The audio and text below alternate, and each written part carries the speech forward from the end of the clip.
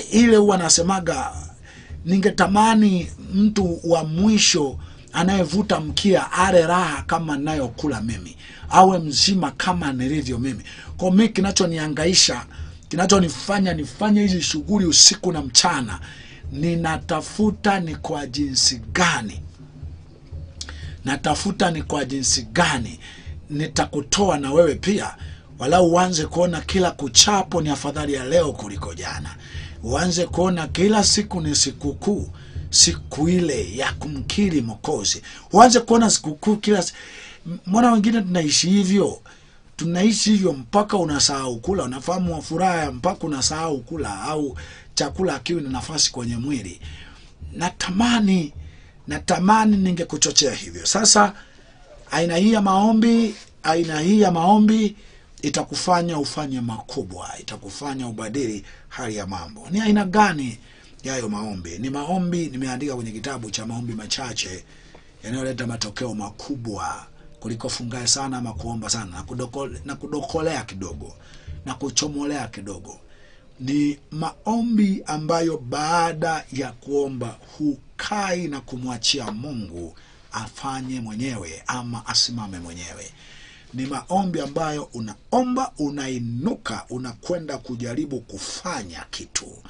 Unaomba unainuka unajaribu kwenda kugonga tena kubisha tena kuongea tena kufanya kazi fulani tena ama ile ile. Yani unaomba una, ukai tu kwamba mimi yamekwisha anajua mungu mwenyewe humwachii mungu unaingia mahali pa kuomba unaomba unaomba mungu nipe maarifa nipe nguvu nataka niende tena nikamwone tena nikamwombe tena nikapige debe tena nikaombe kazi tena nikafiatue tena nika ni, ni, ni, nikafanye biashara tena nikauze tena nikaongee tena ni, yani unaomba unainuka unakwenda unafanya akijatokea unakuja unafanya akijatokea unaomba unakusanya nguvu unakwe. kwa hiyo haukai kuomba siku saba. Huko umejifungia ndani kumi kumi na nne bwana usimame mwenyewe utende mwenyewe. Alafu zikiisha siku saba kumi kumi na nne unajikunja. Unasema sasa hapa nasubiri bwana utende. Bwana nimesha mkabizi bwana sasa. Nimesha mkabizi mungu sasa nataka na wataona maajabu. Wataona hapana wako watu waliojifungia miaka kadhaa wanaomba wakisubiri mungu afanye. Walipotoka umo waligeuka kuwa waganga wa kienyeji baada ya mungu kuto kufanya chochote maana mimi wanasemaga ikiwezekana maombi tuwe tunaomba aliyokuwa naomba yesu. Unaomba kila siku unafanya kazi kila siku. Sio tu umeshakaa Uh, vinginevyo kama tu mwanzoni ni kweli unaweza ukafanya maombi ya kujibusti walau siku tatu nne tano saba mwanzo tu wa imani yako siku tano mbili tatu nne tano sita mwezi sawa. Lakini kwa sehemu huku mbele isiwe tu kwamba ndo ndo sehemu kubwa wanaofunga funga sana na kuonyesha wana upako. Wanageuka tu waganga wa kienyeji. Waona stari wanaoonyesha wanatoa mapepo au wanakamata uchawi. Ni shughuli ya kiganga yani kama uishawahi kukaa vijijini uliona waganga wanavyokamata wachawi ama kutoa tatizo kwa mtu basi kompea na hiki wanachofanya hao wanaoitwa mitume manabii. Unaona ni uganga tu ni uganga sasa hivi na mpaka wakati mwingine huwa wanajaribu kufuatilia historia zao fuatilia historia zao. Hivi ujamaa jamaa babu yake akuwa mganga huyu? Ah, hebu fuatieni historia zao wanaoitwa mitume manabii na wachungaji. Lazima utakuta babu yake au baba yake au yeye mwenyewe alikuwa mganga. Fuatilieni sana. Kwa sababu staili zao si ki, kupata kibali kwa watu. Cha nini? Biblia inasema utachukiwa na watu wote kwa ajili ya jina hili. Kupata kibali cha watu. Wewe umesoma wapi kwenye biblia? Unatakiwa watu wakupende. Eh? wa, uombewe wakupende. Hata afadhali wangekupenda wakupende kwa sababu ya kazi nzuri na mambo mazuri unayoyafanya. Mambo ma- sio eh, from nowhere tu watu wakupende na kuombea kibali. Kwa sababu mungu anamwambia kaini asema ukitenda vizuri hutapata kibali. Eh? sasa uh, sasa hivi wameinuka waganga wa kienyeji. Mi nakwambia hawa vijana wanaoitwa mitume wachungaji hawa wanaokamata wachawi hawa ni, ni mchawi. Eh, tunalogaga tunaendaga kuzimu tunakwendaga na bibi. Hawa ni waganga tu ni waganga. Kama sio yeye fuatilia babu yake alikuwa mganga. Eh, fuatilia na kwa yoyote vile kuna zindiko fulani aliliweka. Kuna zindiko aliliweka akasema babu yangu mtoto wa mwanangu wa kwanza au wa kiume atakuja kurithi haya. Lazima lazima babu yake au yeye mwenyewe akatoka mapolini baada ya serikali kukamata sana wale waliokuwa wanatoa arubino arubino kazi arubino walikuwa wanakata viungo. Sasa baadaye waka- wakahamia wakaenda kusajili wizara ya mambo ya ndani wakasajili kitu kama kanisa. Ndo vijana vi- vi- viko mijini humu viko vi, vi, vi, mijini vijana vinapiga hela vinapiga hela tu za kueleka. Lakini viganga tu shughuli zile zile za waganga. Kibali kwa, kwa, kwa watu natoa pepo. Haya sema umetoka wapi pepo? Kwa shangazi bibi mimi ni bibi yake. Mimi ni mama yake mkwe. Mimi ni wifi yake. Mapepo wapi yalioye? Wapi mapepo yalikuwa yanataja watu kwenye Biblia? hiyo si shughuli ya waganga. Tafadhali hata waganga wa porini walikuwa vizuri.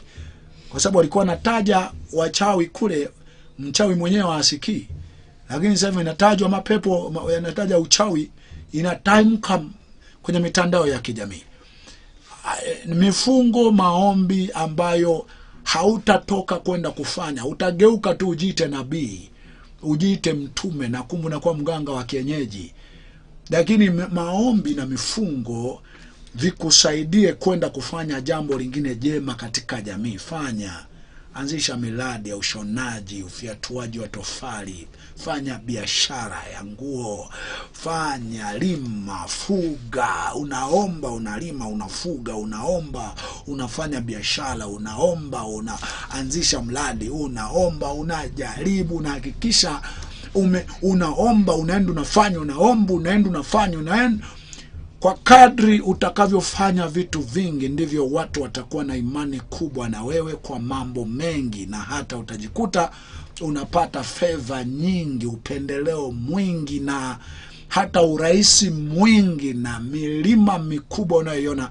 Hata hii mnayotaka kwenda kujiunga kwenye siasa unataka ubunge. Ni hela za laana hauna haki nazo. Usi, usi, usi, uh, nataka uwaziri nataka ubunge. Ni hela ambazo huna haki nazo. Zile hela hamufanyii kazi zile. Ile sio kazi ile. Ile ni, ku, ni kupata nafasi ya kula kibabe. Wala usitafute nafasi ya kuwa waziri tafuta tu za kwako.